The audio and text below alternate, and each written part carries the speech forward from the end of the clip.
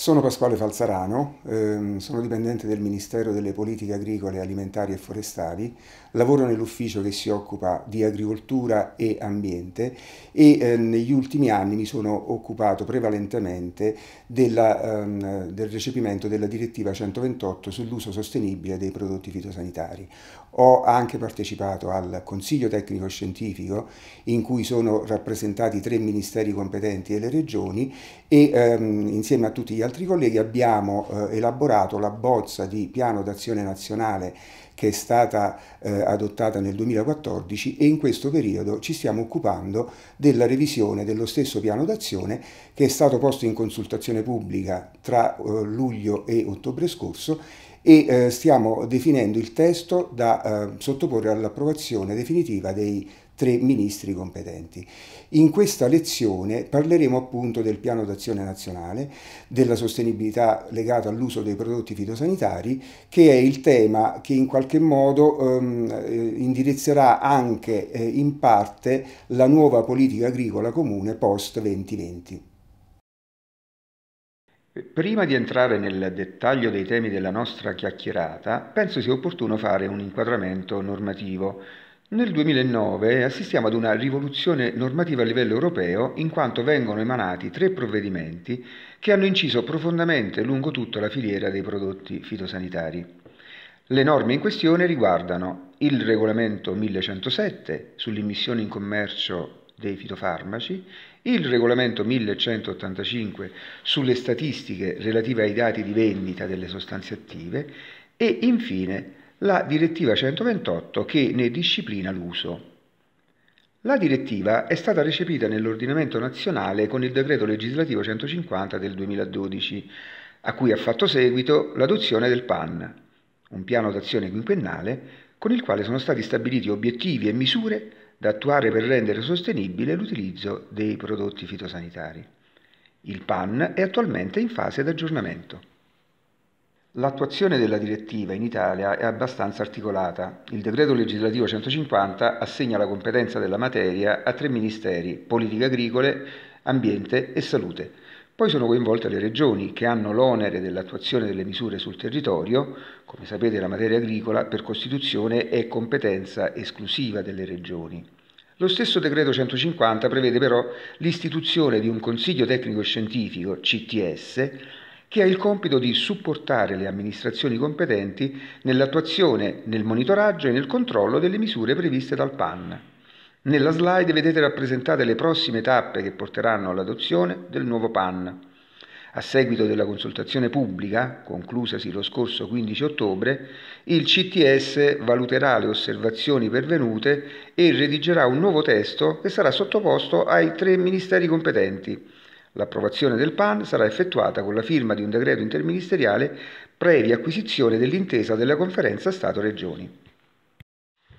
L'obiettivo principale della direttiva e del PAN è la riduzione dei rischi e degli impatti dei prodotti fitosanitari sulla salute umana, sull'ambiente e sulla biodiversità.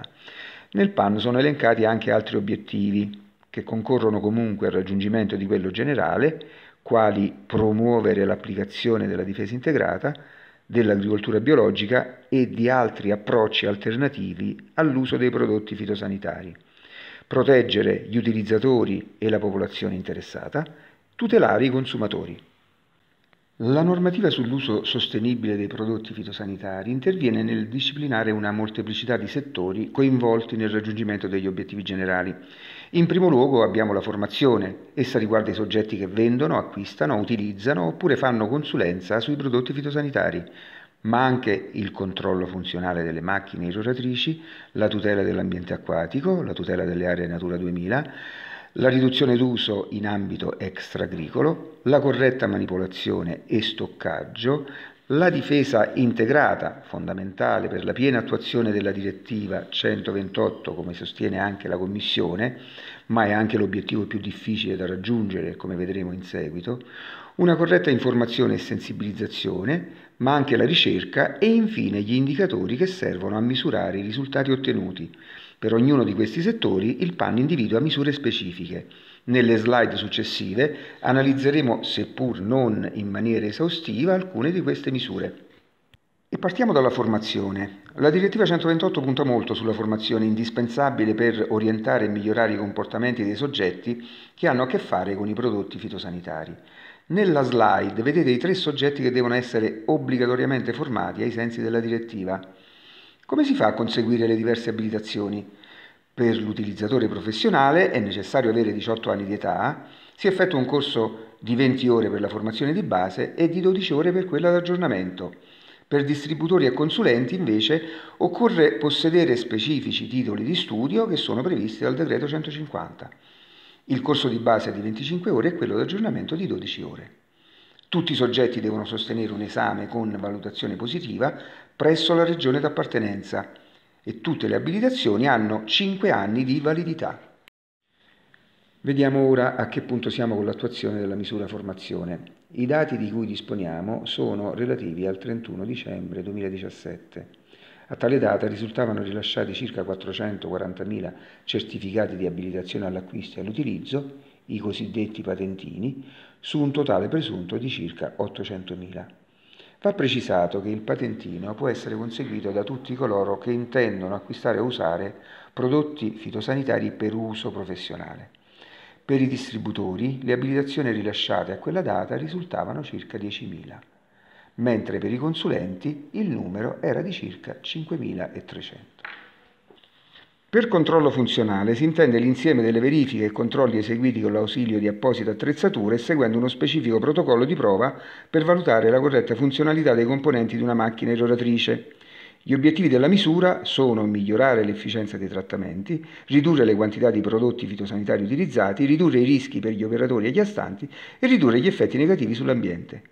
Nella slide, oltre al controllo funzionale, sono elencate anche altre due modalità di intervento da operare sull'irroratrice per garantire il suo corretto funzionamento. Regolazione o taratura e manutenzione periodica eseguita dagli utilizzatori in azienda. Regolazione o taratura strumentale effettuata presso i centri prova. La direttiva prevedeva che entro il 26 novembre 2016 tutte le irroratrici in uso fossero sottoposte a controllo funzionale almeno una volta, con un intervallo di 5 anni fino al 2020 e in seguito di 3 anni. I numeri ci dicono che questa misura è stata scarsamente applicata.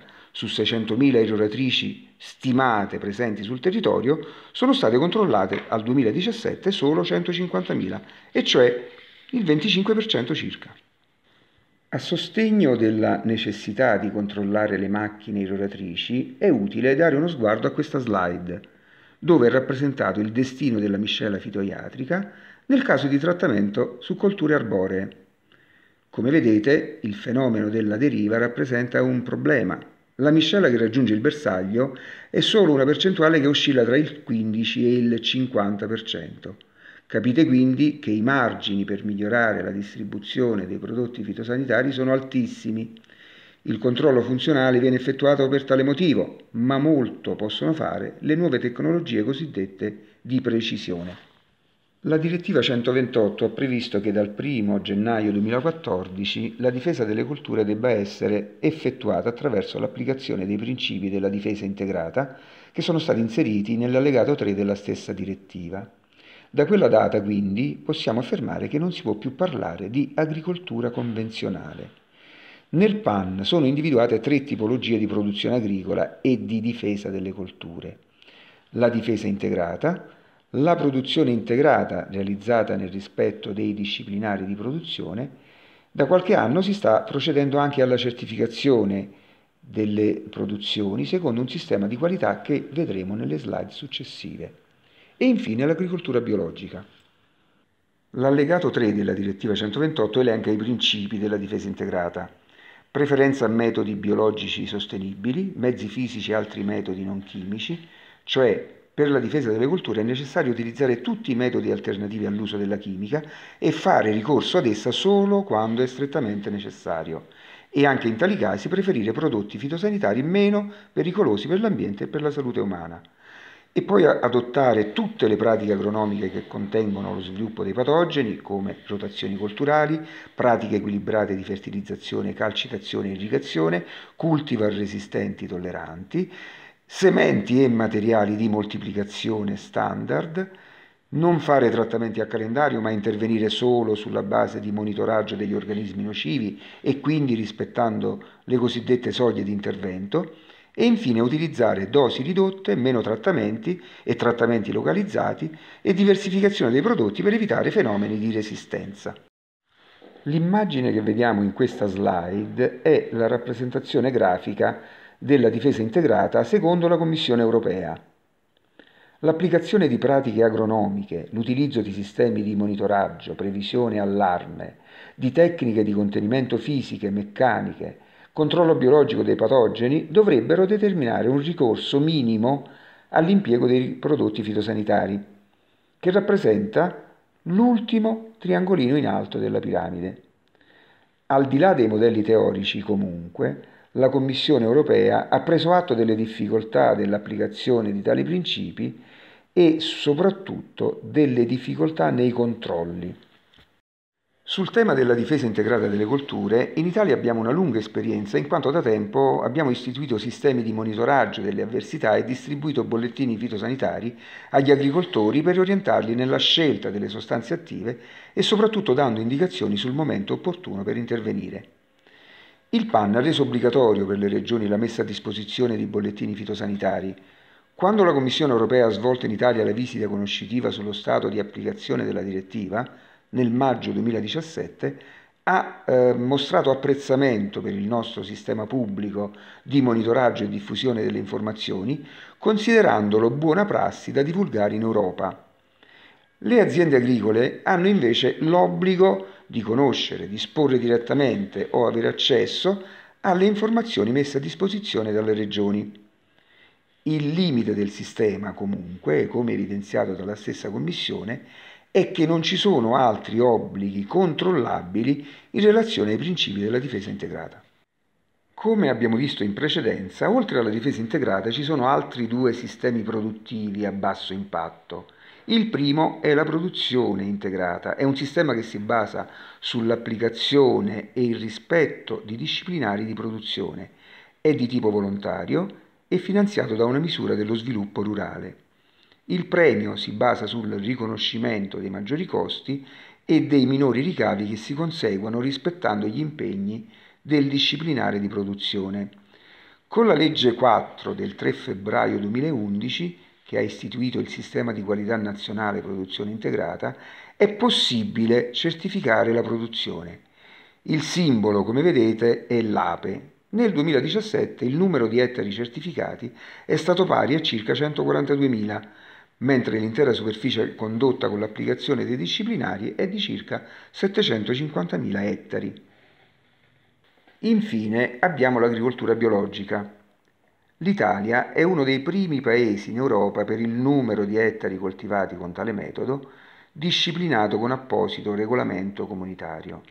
Nel 2017 oltre il 15% della superficie agricola utilizzata e oltre 1.900.000 ettari risultava condotto con tale metodo. La manipolazione, lo stoccaggio dei prodotti fitosanitari e il trattamento dei relativi imballaggi e delle rimanenze è un articolo specifico della direttiva e un capitolo dedicato nel PAN. Il comportamento adeguato da osservare durante tutte le fasi in cui si viene a contatto con i prodotti fitosanitari è fondamentale per ridurre i rischi per la salute umana e per l'ambiente. Gli esperti dicono, per esempio, che le operazioni di riempimento e lavaggio delle irroratrici rappresentano una delle più importanti cause di inquinamento puntiforme delle acque superficiali. Nella slide vedete rappresentate tutte le fasi in cui è necessario agire correttamente per ridurre o eliminare il rischio per la salute umana e per l'ambiente.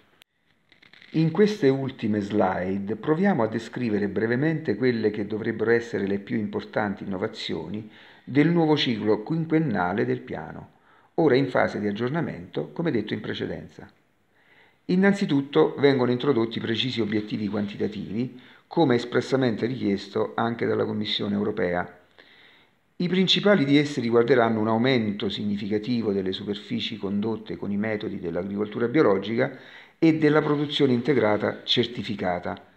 ma si prevedono anche riduzioni nelle vendite di talune sostanze attive particolarmente pericolose e una diminuzione dei ritrovamenti delle stesse nelle acque superficiali. Tali risultati dovrebbero essere ottenuti attraverso l'applicazione di idonee e coerenti misure previste all'interno del piano. La possibilità di conseguimento degli obiettivi del PAN è subordinata all'impiego di adeguate risorse finanziarie pubbliche. Poiché la direttiva non reca alcuna risorsa, il nuovo PAN fa espresso riferimento alla PAC post 2020, anche perché ci sono evidenti sinergie tra i due strumenti programmatici. Nella stesura del nuovo PAN si è tenuto ampiamente conto di tali sinergie. In realtà il piano rappresenta uno dei tasselli della strategia nazionale della futura PAC. È il caso di evidenziare che la PAC post 2020 sarà attuata attraverso la predisposizione da parte di ciascuno Stato membro di un documento strategico in cui devono essere individuati gli obiettivi che si intendono raggiungere nei sette anni di programmazione e le misure che sono funzionali al loro raggiungimento. Alcuni obiettivi e alcune misure coincidono con quelle del PAN. Le sinergie tra PAC e PAN le riscontriamo anche nella condizionalità futura post 2020, in quanto quattro articoli della direttiva 128 sono inseriti nella baseline che le aziende agricole che accedono ai pagamenti comunitari devono obbligatoriamente rispettare pena la riduzione o esclusione del premio. Esse riguardano la formazione e quindi il patentino, il controllo funzionale delle macchine irroratrici, le misure a tutela dell'ambiente acquatico delle aree Natura 2000, la manipolazione e lo stoccaggio dei prodotti fitosanitari. Ma ci sono anche indicatori comuni, per esempio gli indicatori di rischio del PAN sono gli stessi che misureranno, tra gli altri, i risultati della futura PAC. Uno dei temi che è stato affrontato nella stesura della bozza del nuovo PAN e che è stato oggetto di acceso confronto all'interno del Consiglio tecnico scientifico è la disciplina dei rapporti tra agricoltura e cittadini. In particolare sono state individuate misure atte a minimizzare l'impatto della miscela fitoiatrica sulla popolazione esposta, con particolare riferimento alla riduzione del fenomeno della deriva. La popolazione esposta comprende tutti i soggetti che frequentano aree pubbliche, ma anche le persone residenti in aree adiacenti a quelle trattate con prodotti fitosanitari. Nella slide vediamo due foto che riguardano due aree del paese in cui maggiormente si presentano situazioni di attrito, la zona del Prosecco in Veneto e l'area vivaistica del Pistoiese. In questa slide è riportato fedelmente il testo inserito nella bozza di panni in revisione che individua le distanze da osservare nel caso in cui si effettuino trattamenti al confine con aree frequentate dalla popolazione o da gruppi vulnerabili. Fatta eccezione per pochi prodotti fitosanitari da utilizzare a distanze di almeno 50 e 40 metri, la maggior parte dei prodotti vanno utilizzati rispettando distanze di almeno 20 metri per le colture arboree e 15 metri per quelle erbacee. Tali distanze possono essere ridotte a 5 metri se si applicano misure di mitigazione della deriva. Durante la fase di consultazione pubblica sono pervenute numerosissime osservazioni e proposte di modifica del testo che tendono ad ampliare o a ridurre tali fasce a seconda se riconducibili al mondo ambientalista o al mondo agricolo. Ciò a dimostrazione dell'enorme difficoltà che si incontra quando è necessario conciliare esigenze legittime ma di segno opposto. Uno dei temi più importanti da affrontare con il nuovo PAN è la comunicazione. L'attenzione della popolazione, intesa come consumatori e come cittadini, per i prodotti fitosanitari è altissima. Nella slide sono riportati alcuni esempi di come oggi viene fatta comunicazione sui pesticidi. Il pericolo è spesso rappresentato con il simbolo di morte. L'obiettivo della comunicazione istituzionale, invece, dovrebbe essere quello di rappresentare in maniera equilibrata lo scopo dell'utilizzo dei prodotti fitosanitari talvolta indispensabile per poter difendere adeguatamente le colture e per assicurare il cibo ad una popolazione sempre crescente. Andrebbero evidenziati gli sforzi che il settore agricolo e la ricerca stanno facendo da diversi anni per diminuire gli effetti negativi dovuti all'uso delle sostanze chimiche, negli ultimi anni, grazie anche all'applicazione del regolamento 1107 del 2009, la disponibilità di sostanze attive si è ridotta da circa 1000 a poco più di 400, Ciò significa che le procedure per l'immissione in commercio dei prodotti fitosanitari sono diventate molto più restrittive per garantire una maggiore tutela dell'ambiente e una maggiore sicurezza per gli operatori e per i consumatori. Siamo giunti alla fine di questa breve analisi del complesso tema dell'uso sostenibile dei prodotti fitosanitari. Non abbiamo trattato alcuni argomenti che sono non meno importanti, quali la tutela dell'ambiente acquatico, delle aree Natura 2000 e dell'uso dei prodotti fitosanitari in ambito extra-agricolo. In conclusione possiamo affermare che per ridurre il rischio e per rendere sostenibile l'uso dei prodotti fitosanitari non è sufficiente imporre regole e restrizioni. La cosa più difficile, ma necessaria, è adeguare i comportamenti. È necessario pertanto investire in formazione per aumentare la consapevolezza da parte degli utilizzatori. La slide che vedete è emblematica da questo punto di vista e in questo processo educativo è fondamentale il ruolo dei consulenti, dei tecnici, che dovranno anch'essi essere formati adeguatamente sul tema dell'uso dei prodotti fitosanitari, tema che in futuro sarà sempre più al centro delle politiche e dell'attenzione dei consumatori e dei cittadini.